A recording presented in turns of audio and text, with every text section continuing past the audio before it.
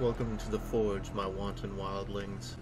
I'm your creepsmith, and I hope you like my work. There are many needs that animal life forms have.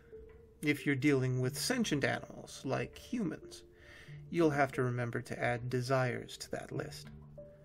How many times have you heard someone tell you how they need this or that? One of these supposed needs that we've grown accustomed to is safety, security. The knowledge that one is protected from whatever. Some will go so far as to risk everything for it, as in tonight's nocturnal naughtiness, the man in the fields ritual. This ritual has been passed down throughout the centuries and originates from the British Isles during the Middle Ages, where it was viewed as devil worship by Puritans and a way to protect your home by those who knew that what was really standing in their fields was not the devil. If completed successfully, the ritual will ensure you one year of safety, physical, fiscal, and or mental depending on the events during the ritual you will need a house in the countryside, preferably with crops out back. Technically, all that's required is a large backyard, the larger the better, but success has only come from houses in the countryside.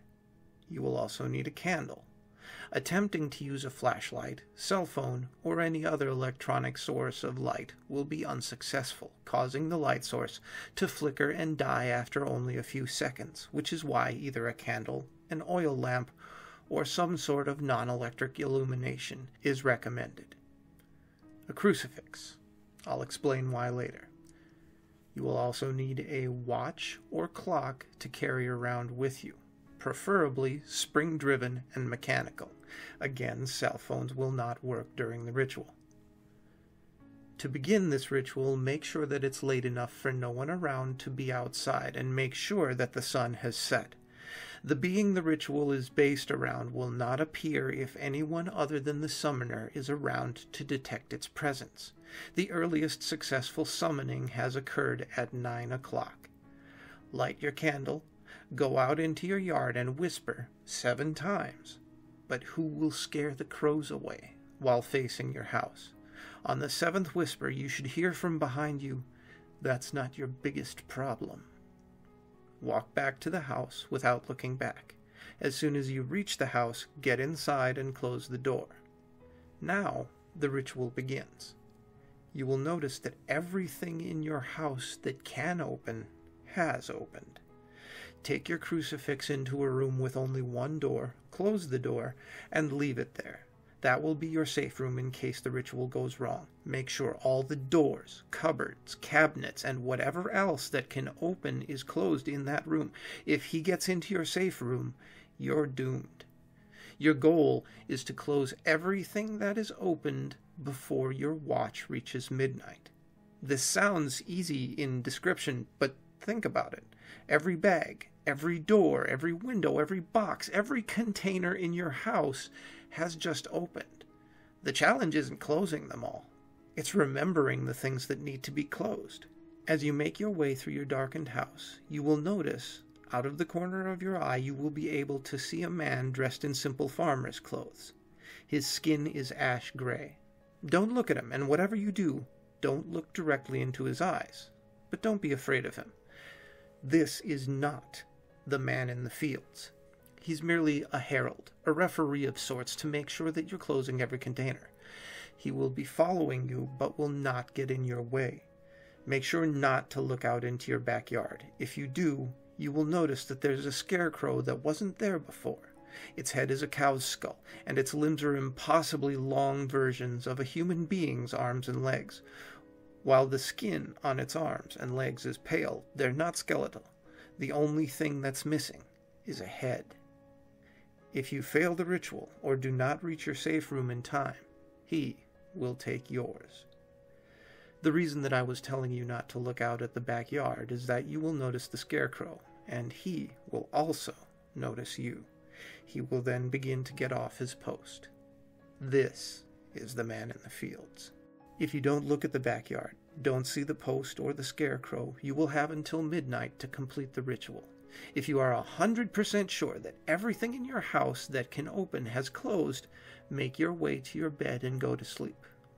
Now, for exactly one year, you will have complete and total safety in everything you do depending on when you started the ritual. If you started three hours from midnight, you will only be completely physically safe. A lot of people have used this to elongate their lives past where they would normally end. People like cancer patients or the elderly. If you started two hours from midnight, you will not only be physically safe, but financially safe for an entire year. You could quit your job and still never have a need for money. Either you would win the lottery, or people would just feel compelled to give you things for free.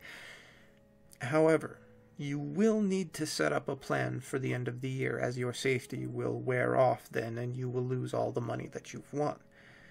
Make sure to either set up a business or make some smart investments. If you started the ritual one hour for midnight and somehow managed to finish it, which is highly unlikely, you will be completely and totally safe for one year. None of your actions will ever have any negative consequences. I'd tell you not to do anything immoral, but if you're going to go through your entire house in one hour and somehow manage to close all of the boxes, doors, windows, cupboards, bags, cabinets, and drawers, then you can do whatever you want. If you did look out at the backyard, if you saw the man in the fields, you won't get any of this, not even if you finish the ritual.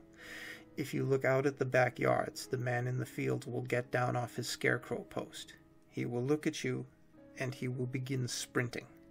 You have about a minute at most to get to your safe room. Run inside and lock it tight and double check to see if everything inside is closed. You do not want him getting in.